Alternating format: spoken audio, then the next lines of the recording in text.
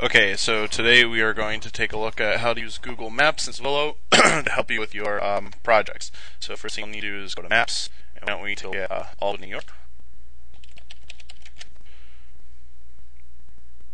So here we have a view of Albany, and what we're doing here is we're going to take a look at some of the features um, at different scales to determine um, where different areas that apply to different models of uh, urban layouts are evident.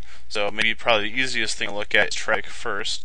Uh, right now it is 2:44 in the afternoon, so you can see uh, it looks like traffic is kind of light, um, and the exterior of the city is in a little bit, might some heavier areas here. So it looks like here it starts to get slow, and this is really slow on this axis here.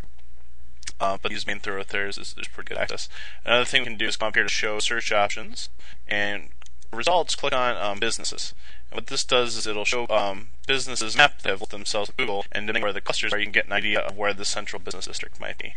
Uh, you can zoom in a little. there we go. And we can see there's lots of businesses that are located on these routes. Uh, uh when you're here, there's um, a, a pretty cluster of them. So, we put Albany in the center and zoom out to see where the biggest clusters are the businesses. Looks like right here along the riverfront, see the central business district right down here. Um, another thing you need to do is figure out residential areas. So what we're going to do is zoom in. We'll, uh, we'll get a road there. Um, uh, Henry Johnson Boulevard, the, the, where Henry Johnson Boulevard meets Central Avenue. We're going to come over here to which is a different website, and this will be for North America because it has the information for that.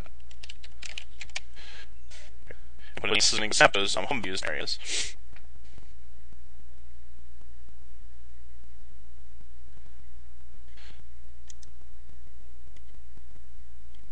Going to that same place that we had in our other apps do comparison.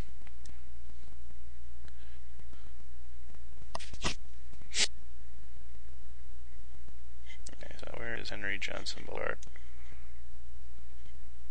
Everett. Oh, there's the river, too far.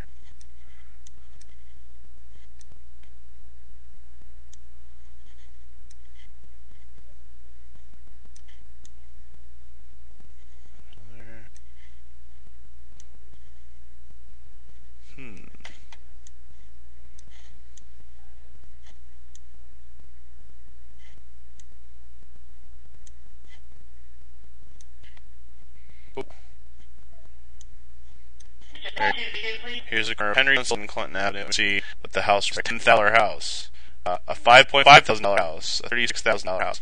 So this probably uh, not to live in. High crime, um, low housing costs. If we roll over here, we'll see some different prices. Okay, so this is you know within a mile and a half of house for one point three million, three hundred sixty six thousand.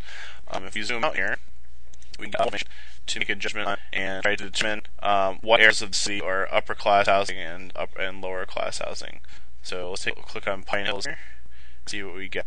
So Upper Hill, it's between five and hundred thousand dollars. Everything here looks like that's averaging between one hundred eighty to two hundred thousand dollars. So comparatively, this is upper class, but um, probably the best thing to do is go on uh, the Census Bureau's website and try to figure out what the median income is for Albany. So if people are uh, the housing costs are higher than the median income, they're probably um, upper class. So that is uh, tools that you can use, Zillow.com and Google Maps to uh, take a look at features on the map and turn different areas of the city help with your project.